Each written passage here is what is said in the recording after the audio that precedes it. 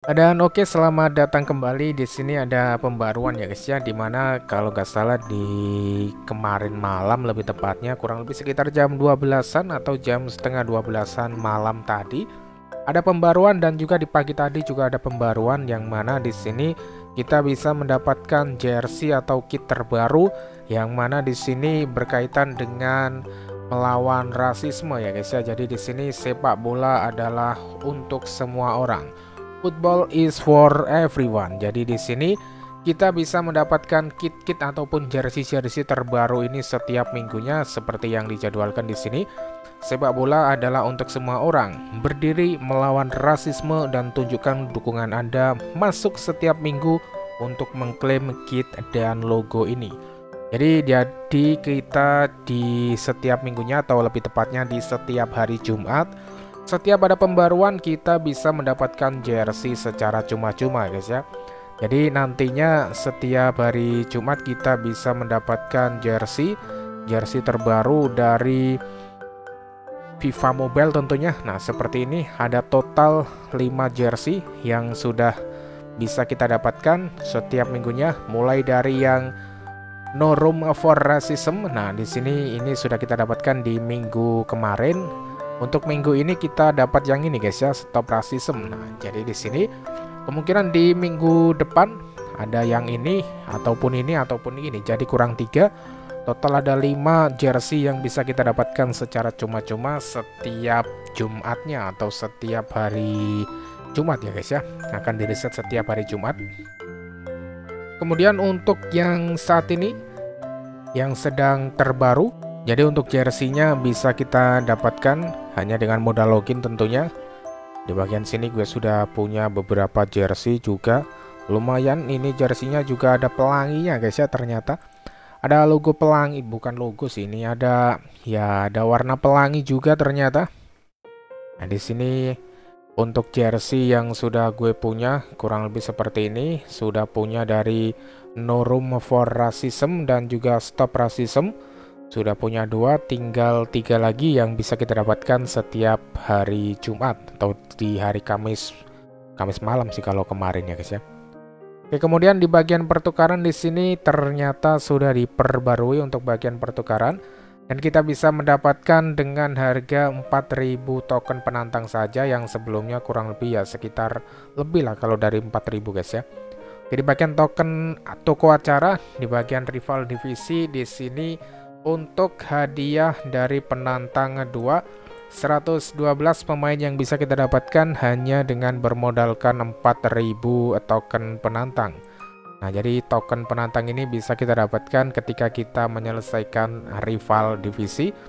Kemudian kita akan mendapatkan untuk token penantang. Tapi di sini gue tahan terlebih dahulu karena apa? Ya karena untuk token penantang yang bisa ditukar menjadi pemain 112 ini semakin banyak yang tukar. Tentu harga di market kemungkinan besar bisa turun ya guys ya. Jadi ya harap bersabar terlebih dahulu. Apalagi untuk saat ini pemain 112 kelihatannya juga sudah mentok harganya di 90 jutaan. Jadi masih terjangkau untuk harganya. Tapi kalau kalian ingin coba keberuntungan ya boleh lah untuk pemain 109 hingga 111 di sini dipatok dengan harga 1.500 token penantang. Di mana dengan chance-nya di sini untuk pemain 111 adalah 5% dan 109 plus adalah 100%. Jadi untuk pemain 109 ini 80%, 110 15%. Untuk kemungkinan hadiah di 111 juga lumayan tinggi meskipun hanya 5% ya guys ya.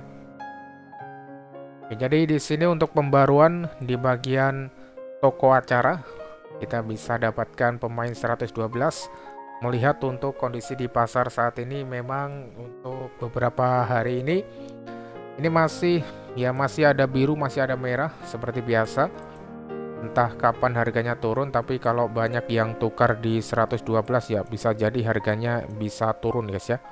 Nah di sini sudah mulai kelihatan tanda-tanda full biru lagi.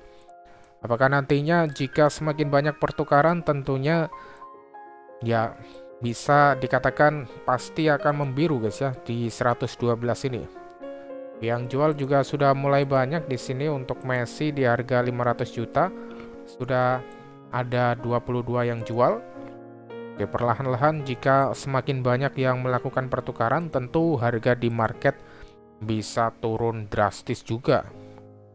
Mengingat untuk misinya juga mudah sekali, apalagi habis reset season ya guys ya. Jadi untuk token penantang kemungkinan juga banyak yang punya. Oke, apakah sudah kalian tukarkan token penantang kalian? Atau baru saja ditukarkan? Dapat siapa? 112 siapa? Bisa komen di bawah. Kalau gue sih masih gue tahan dulu, lihat harga di pasar. Kemungkinan harga 112 juga bisa turun semakin banyak yang tukar dan semakin banyak yang jual tentunya harga di market bisa sangat turun ya guys ya. Ya untuk 112 saat ini masih terbilang ya di atas seratusan ya untuk 112 masih di angka 100 jutaan. Kita lihat beberapa hari ke depan. Semakin banyak yang tukar semakin banyak yang dapat tentu harganya semakin bisa dikatakan semakin turun ya guys ya. Oke, di sini kita pantau lagi beberapa saat ke depan. Apakah harganya masih bisa turun? 112 bisa didapatkan cuma-cuma dengan mengumpulkan token penantang sebanyak 4000 token. Oke, komen di bawah kalian dapat siapa yang sudah tukar di 112? Apakah hoki? Apakah kalian jual atau kalian pakai? Kalau semakin banyak yang jual ya tentunya semakin turun ya guys ya harga pemain 112 di pasar tentunya. Kita lihat beberapa saat ke depan.